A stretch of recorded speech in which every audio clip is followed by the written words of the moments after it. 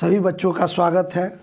आज मैं इस वीडियो में झारखंड बोर्ड एनसीईआरटी बुक जो चलती है, उसका पाठ पाँच, वर्ग सप्तम का पाठ पाँच घातांक एवं घात और घात का प्रश्नावली पाँच दशमलव एक का छठा सवाल बताने जा रहा हूँ। छः नंबर सवाल में लिखा है, निम्नलिखित का आवाज़ गुणनखंड लिखकर घातांकीय रूप में व्यक्त करना है, लिखने का रहा है। तो पहले, पहला है चार सौ पाँच। चार सौ पाँच को आप अगर तोड़िएगा तो पहला ये पाँच से जाएगा। तो पाँच से पचहठी चालीस, पाँच एक, पाँच।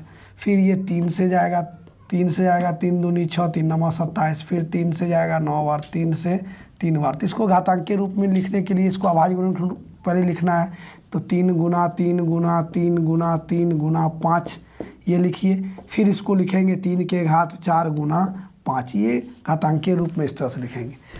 फिर है, दूसरा में है छः सौ अड़तालीस। छः सौ अड़तालीस दुक्का से पहले दीजिए तो ये हो जाएगा तीन, दो, चार, फिर दो से जाएगा एक बार में छः बार, दो बार, फिर दो से जाएगा इक्यासी, फिर तीन से जाएगा सत्ताईस, तीन से नौ, तीन से तीन। तो इसको क्या लिखेंगे? दो गुना दो गुना दो गुना तीन गुना तीन गुना तीन गुना तीन, चार बार तीन था। तो ये क्या हो जाएगा? दो के घात तीन, गुना तीन के घात चार। इस तरह से घातांक के रूप में लिखेंगे। तीसरा है पाँच सौ चालीस। इसका अभाज्य गुणनखंड कीजिए। दुक्का से दो बार सात, दो सौ सत्तर। फिर दुक्का से वन थर्टी फाइव। दो से नहीं जाएगा, तीन से जाएगा क्या? पाँच, तीन, आठ, एक, नौ, तीन से जाएगा। तीन चौका बारह, तीन पचे पंद्रह। फिर तीन का से पंद्रह बार में, फिर तीन का से पाँच बार में। तो इसको लिखेंगे तो दो गुना दो गुना तीन गुना तीन गुना तीन गुना पाँच, यानी दो के घात दो गुना तीन के घात तीन गुना पाँच। ये घातांक के रूप में इस तरह से व्यक्त करेंगे। उसके बाद चौथा सवाल है तीन हज़ार छः सौ। चौथा सवाल आपका है तीन हज़ार छः सौ। तीन हज़ार छः सौ इसको पहले हम लोग आवाज़ गुणन कीजिए। दो से भाग लगेगा, दो से एक बार, आठ बार, फिर ज़ीरो ज़ीरो, फिर दुक्का से इतना हुआ नौ सौ बार में, फिर दुक्का से साढ़े चार सौ, फिर दुक्का से दो सौ पच्चीस बार में, दो से नहीं कटेगा। तीन से तीन से काटिए तीन सत्या इक्कीस, तीन पच्चीस पंद्रह, फिर तीन का से पच्चीस बार में, फिर पचका से पाँच बार में। तो इसको हम लोग लिख सकते हैं क्या? दो गुना दो गुना दो गुना दो, एक, दो, तीन, चार बार, एक, दो, तीन, चार बार, फिर तीन है दो बार, और पाँच है दो बार। इसको लिखेंगे दो के घात चार गुना तीन के घात दो गुना पाँच के घात दो।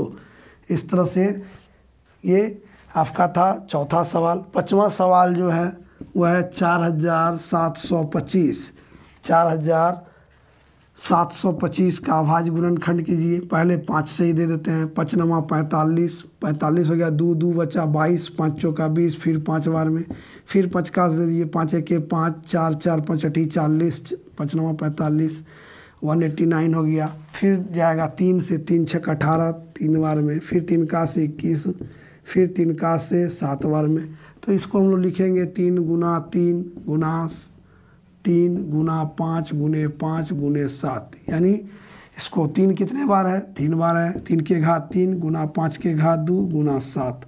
इस तरह से और अंतिम प्रश्न जो है वह है एक हज़ार चार सौ अंठावन एक हज़ार चार सौ अंठावन हम यहाँ बना रहे हैं इसको क्या करना है आवाज़ गुणनखंड कीजिए एक हज़ार चार सौ अंठावन वन फिफ्टी एट वन चार पाँच आठ दो से कटेगा दो सतह चौदह फिर दो दूनी चार और दो नंबर अठारह, सात सौ उनतीस, सात सौ उनतीस आपको किससे कटेगा? तो तीन से कटेगा तीन दूनी छः, तीन चौक बारह, तीन तिया नौ, फिर तीन से कटेगा तीन अठी चौबीस एक बार में, फिर तीन से कटेगा, ये तीन से कटेगा सत्ताईस बार में, फिर तीन से कटेगा आपका नौ बार में, फिर तीन से तीन बार में। तो इसको आप अगर लिखिएगा देखिए क्या है, दो गुना तीन के घात कितने बार एक, दो, तीन, चार, पाँच, छः। इस तरह से घातांकीय रूप में हम लोग व्यक्त करते हैं। इसके साथ ही आपका प्रश्नावली पाँच दशमलव एक आज समाप्त हुआ।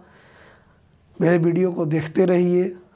चैनल को सब्सक्राइब कीजिए ताकि एक एक वीडियो आप तक आसानी से पहुँच जाए। और जहाँ आप नहीं समझते हैं, उस चीज़ को आप कमेंट बॉक्स में लिखिए। मैं कोशिश करूँगा कि आपको समझा दूँ। धन्यवाद।